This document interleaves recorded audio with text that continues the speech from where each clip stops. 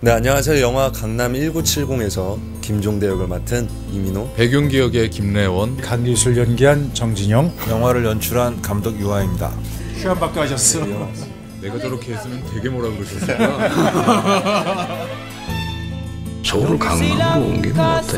강남 1970은 1970년대 서울 개발이 시작되던 강남 땅을 둘러싼 남자들의 욕망과 의리, 배신을 그린 작품입니다. 여러분들께서 기다리고 기다리던 그날이 드디어 왔습니다. 강남 1970이 개봉을 앞두고 2015년 새해 첫 네이버 Movie Talk Live를 진행합니다. 1월 8일 목요일 저녁 9시에 개최될 강남 1970 Movie Talk Live는 액션 드라마 강남 1970의 두 남자 종대와 윤기 캐릭터 예고편 최초 공개부터 real 액션 탄생기, 제작기 영상까지 다양한 behind 영상들을 통해 강남 1970의 모든 것을 확인하실 수 있습니다. 유아 감독님, 이민호 씨, 김래원 씨 그리고 정진영까지 생중계로 여러분을 만날 예정입니다. 여러분들이 실시간으로 남겨주신 질문에 직접 답변하는 Q&A 시간도 준비되어 있으니까요.